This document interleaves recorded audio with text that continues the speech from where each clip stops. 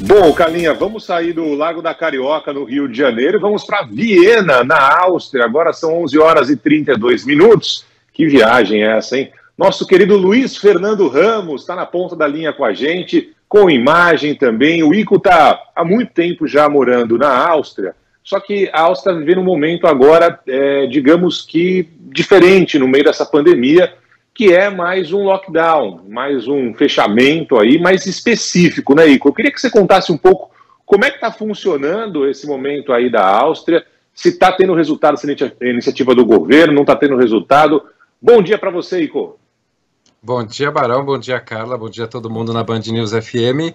A Áustria vive esse lockdown aqui que inicialmente, no início da semana passada, era um lockdown para não vacinados, mas como a curva de incidência continua aumentando exponencialmente, o governo aplicou agora lockdown para todo mundo. Na prática, Uh, a gente está tendo um fechamento total do comércio, a não ser o comércio uh, de uh, existencial, né, o comércio de alimentos, farmácia, bancos, etc. e a gente está tendo a maioria dos trabalhos uma recomendação para as pessoas trabalharem em casa para fazer o home office. O governo também faz um apoio financeiro substancial para muitos trabalhadores. Os trabalhadores são aplicados no que eles chamam de trabalho curto, e aí o governo assume uh, boa parte dos salários desses trabalhadores para esses trabalhadores ficarem em casa também. Tudo isso com qual objetivo? Diminuir a circulação de pessoas e diminuir o, o índice de incidência uh, da Covid-19. A gente está no momento, Barão, a cada dia com uma média de 100 casos, uh, perdão, de mil casos para cada 100 mil habitantes, ou seja, a cada dia 1% do país é testado positivo, são novas uh, infecções. Então a gente vê esse momento em que a epidemia volta a crescer aqui em Viena e os resultados desse lockdown que começou ontem, segunda-feira, vão ser medidos pelos números uh, de acordo com os especialistas em uma semana. Em uma semana a gente deve ter os primeiros resultados dessa restrição na circulação das pessoas aqui pela, por Viena e pela Áustria como um todo.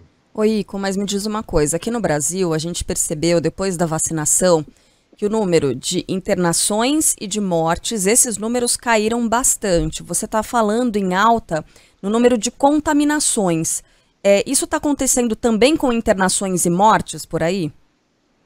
Tá sim, acho que essa é a preocupação principal do governo. A gente está tendo, nesse momento, 28% dos leitos de UTI uh, ocupados por pacientes de Covid, né? Claro que tem uma incidência grande de leitos de UTI por pacientes com outras uh, necessidades, mas 28% no momento são de pacientes com Covid-19 e na estimativa do Ministério da Saúde aqui, a partir de 33%, a partir de um terço dos leitos ocupados por esses pacientes de Covid, a expectativa de um risco grande de colapso uh, do sistema de saúde. Então, é, é, são esses números, principalmente nas hospitalizações, que estão levando a, os, os, o governo a tomar essa medida restritiva.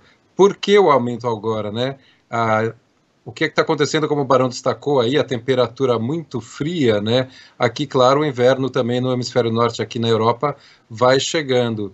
E como as restrições eram praticamente inexistentes, a gente estava tendo um encontro muito maior de gente em lugares fechados, e claro que com um controle, com um pouco controle da circulação de pessoas, a gente acabou tendo um aumento exponencial uh, dos casos de Covid, porque o vírus é a, a, é a lógica do vírus, né? A dinâmica do vírus é essa, esse aumento exponencial de casos.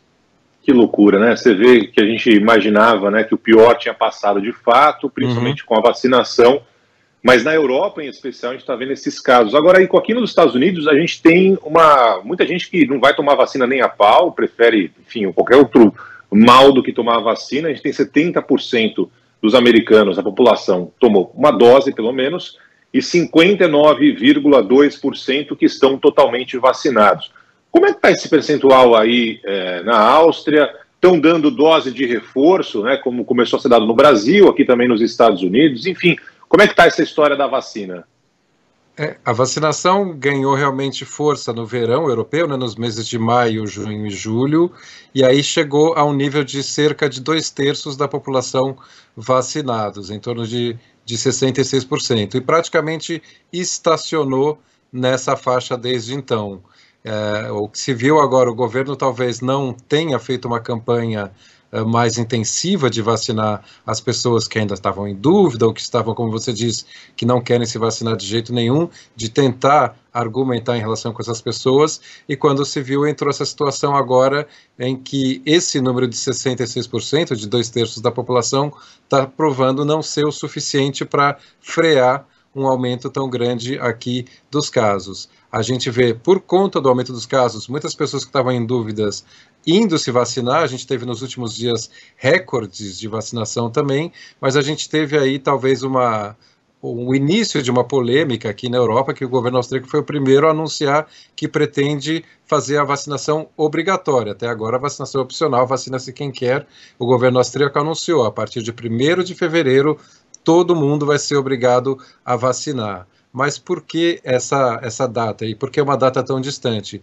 É claro que para você aplicar essa lei, você precisa uh, argumentar dentro da Constituição, fazer uma série uh, de, de argumentos para uma lei como essa ser aprovada e entrar em vigor. Mas a tendência, pelo menos que dizem os especialistas políticos aqui e jurídicos, é que essa lei seja aprovada. Até lá, as pessoas que ainda estavam em dúvida em face ao aumento grande de incidência, tem muita gente indo se vacinar, ao mesmo tempo que a gente está tendo recordes de casos novos, a gente está tendo também recordes de pessoas recebendo a primeira vacina. E a terceira dose aqui já é recomendada a, a, até quatro meses depois de quem recebeu a segunda dose e para todo mundo, não só mais por idades, mas quem tem a segunda dose, passou quatro meses, pode marcar um horário e tomar a sua terceira dose também. Oi, Ico, é, se é, noticiou por aqui talvez um lockdown específico para as pessoas não vacinadas. Isso se concretizou, hum. foi discutido, aí está acontecendo? Como é que é isso?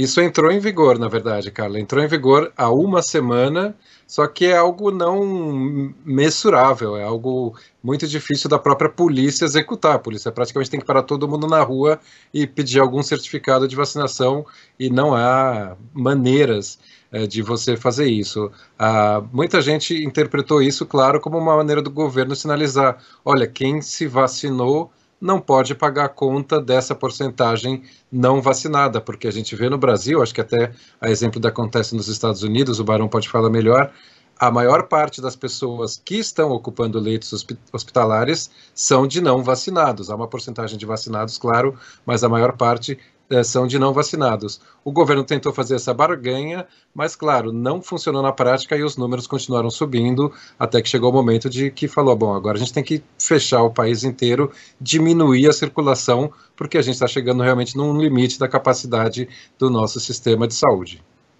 É, aqui também é exatamente isso. Quem não tomou a vacina foram a maioria, é, não só dos casos de internações, mas também de mortes. É, Para finalizar aí, como é que está a sua rotina aí? Não está saindo de casa? Está ficando direto? É, o que está aberto? Onde pode ir? Onde não pode ir? Quem pode ir? Como é que está sendo esse lockdown agora, é, mais pesado, digamos assim? Bom, na prática, o governo dá algumas exceções. Você pode sair para fazer compras no supermercado, pode ir ao banco, pode ir à farmácia. Tudo, claro, sempre com uso de máscara FPP2, né? Essa máscara obrigatória.